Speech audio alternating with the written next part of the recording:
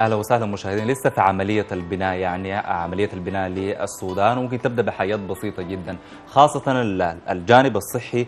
هو كان آه لثلاث عقود خلينا نقول للأمانة يعني. وإلى الآن لسه في ورثة كبيرة جدا من النظام البائد يعني في في المجالات الصحية عدم الاهتمام بالمرافق الصحية ما فقط في المركز الخرطوم وإنما في كل ولايات السودان. يعني الليلة في صباح الشروق في صدد يعني مبادرة طيبة لتأهيل مركز صحي يعني سعداء أنكم معنا الأستاذ المحامي فرح وهبي. حيتكلم عن مركز صحي الشهيد الشهيد قصي حمدته اللي هو في جبرة حنشوف طريقة تأهيله وتفاصيل المختلفة دي لحد ما تصل المعدات الطبية إلى المركز. أهلا وسهلا صباح الخير. مرحبا بك مرحبا بك. نعم أهلا بك أستاذ الفاتح. وزي ما ذكرت حمزة إنه في الجانب الصحي كان مهمل ومهمش. والثورة السودانية لما طلعت عشان ما تحقق مطالب كان واحد من ضمن المطالب إنه يكون في نظام صحي في السودان مختلف ومميز لأنه الصحة أساس والتعليم أيضا أساس. فبالتالي راح ضحية الثورة السودانية عدد كبير جدا من الشهداء لهم الرحمة والمغفرة ومن حقهم علينا.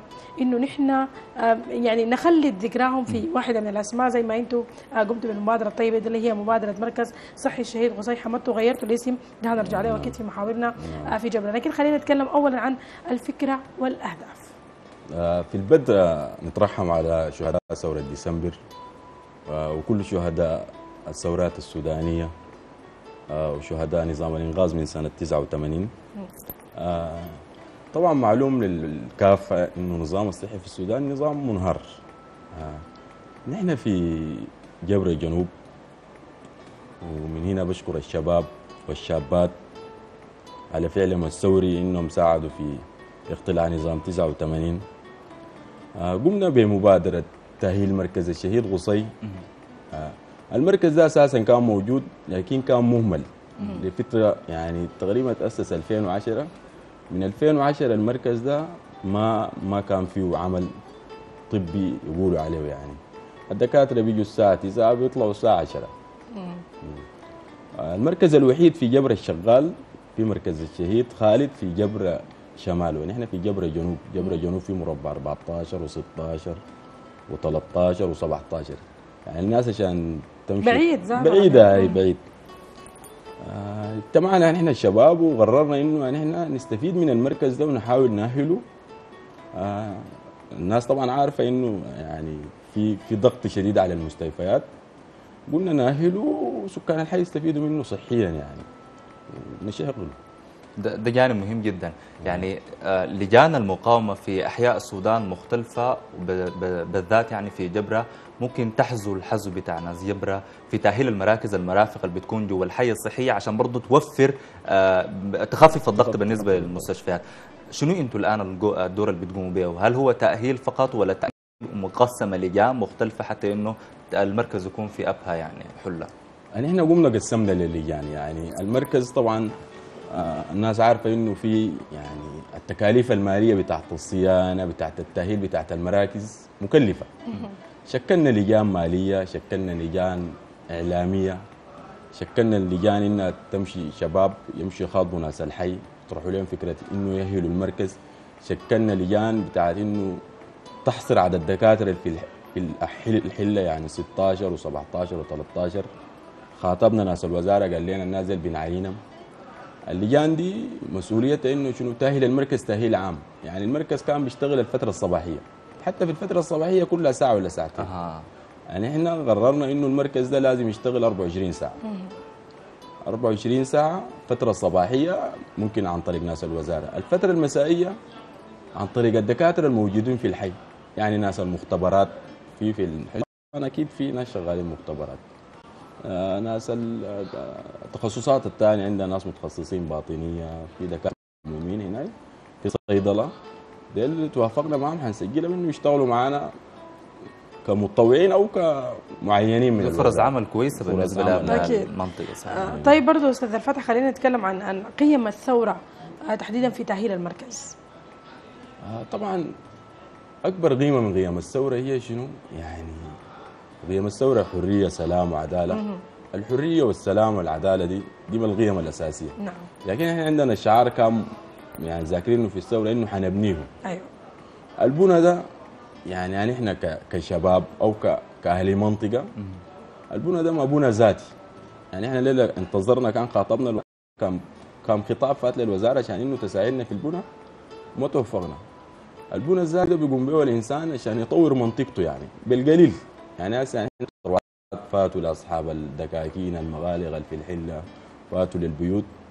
هسه قادرين نبني يعني دي بداية بنى غير كده عندنا شغل كتير في جبره تمينا به شعار من شعارات الثورة يعني. آه، يعني شغل الدعم هل واقف فقط على ال- على اللجان ال- أو لجان مقاومة جبره داخليا يعني؟ ولا برضه كمان في خيرين ممكن يساعدوا في الموضوع ده يعني؟ لو كان ممكن لأنه إحنا الآن في فضاء ممكن يكون في دع- دعم خارجي يصلكم ولأنه ما فقط صحه ناس جبره صحة صحة السودان عموما يعني.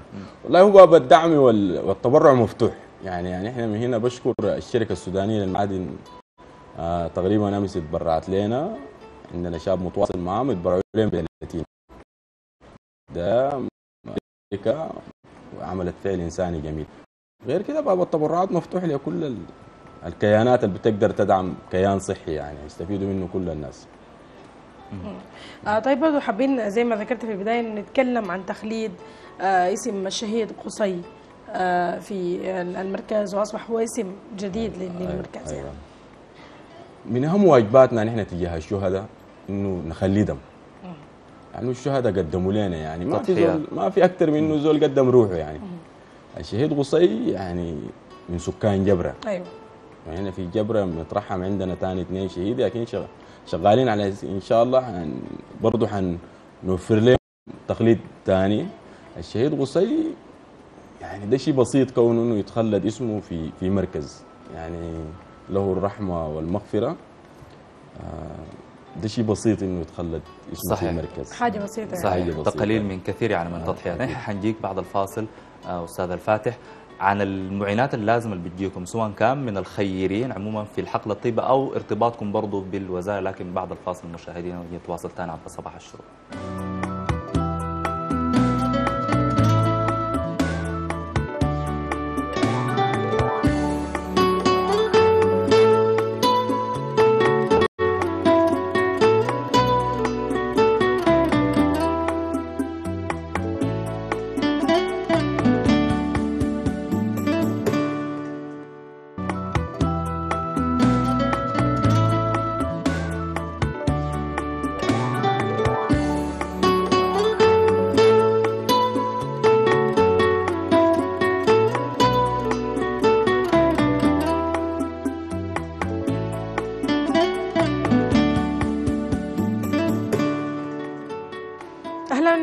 مشاهدينا مرة ثانية على شاشة قناه الشروق في صباح الشروق في ساعتنا الثانية من صباح الشروق وداخل الاستوديو معنا الأستاذ الفاتح فرح وهبي من أصحاب مبادرة مركز صحي الشهيد قصي حمدته في جبره اللي تم تأهيله واللي هيفتتح قريباً.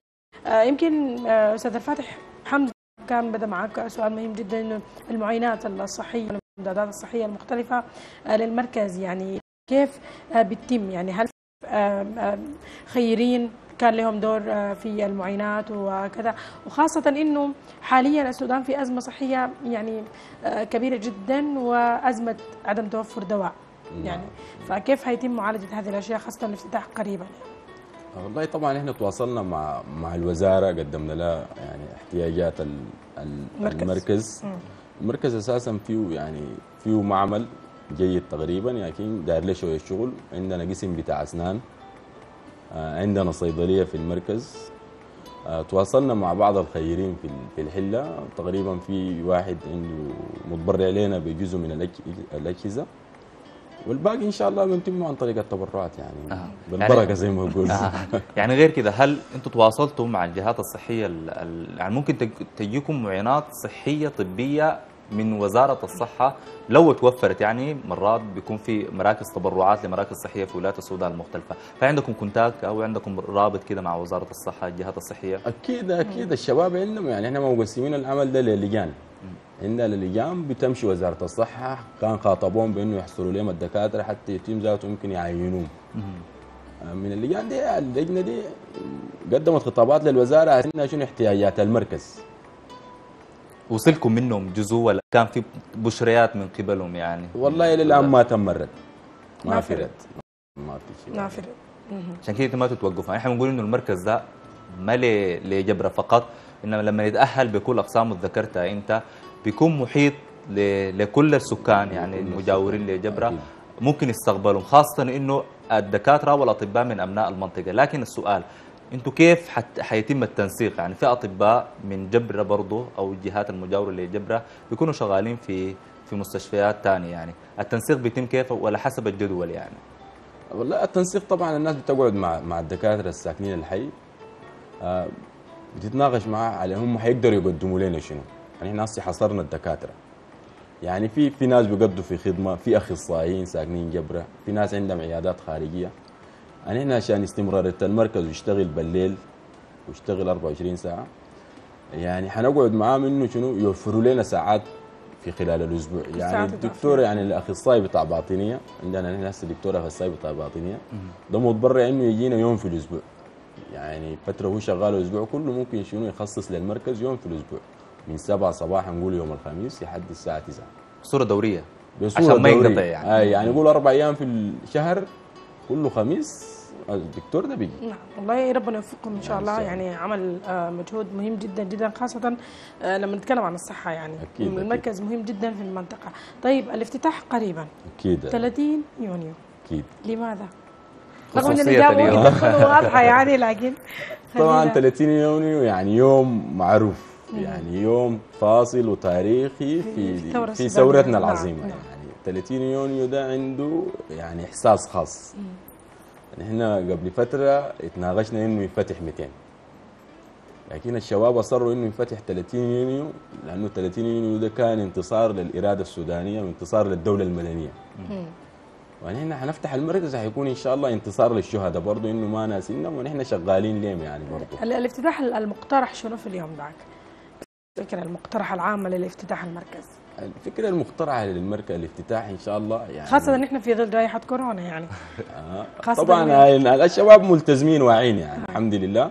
حيكون في التباعد الاجتماعي يعني الفكرة إنه ما حيكون في تجمهر جايد يعني الفكرة حتكون في تباعد اجتماعي. آه طبعا أكيد الافتتاح حيتم عن والدة الشهيد غصي.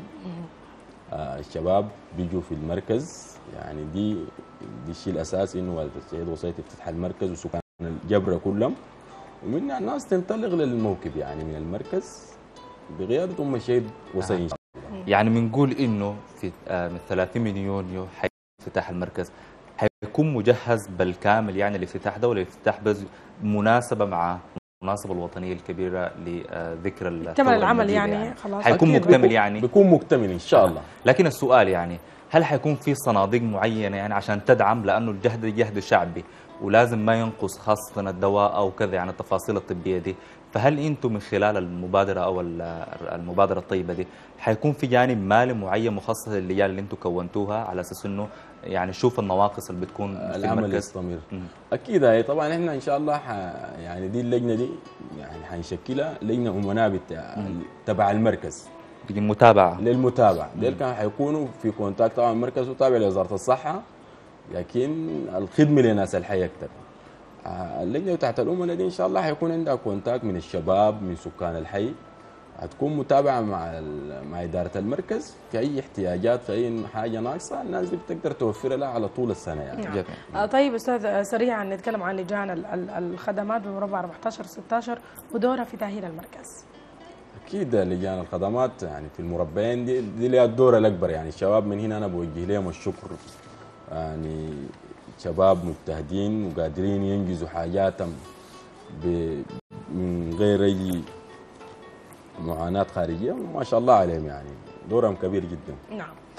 آه، إحنا جدا لوجودك معنا ولمساحتك ال- الكبيره اللي انت افردتها لنا اليوم واكيد هنكون حضور في افتتاح المركز باذن الله أكيد. تعالى ومنها. للموقف أكيد أنا من هنا بوجه لكم الدعوه وبشكركم انه اتحتوا لنا الفرصه وربنا نعم جميل. شكرا أستاذ فاتح. فرح وهبي مبادره مركز صحي الشهيد قصي حمدته في شكرا جزيلا شكرا لكم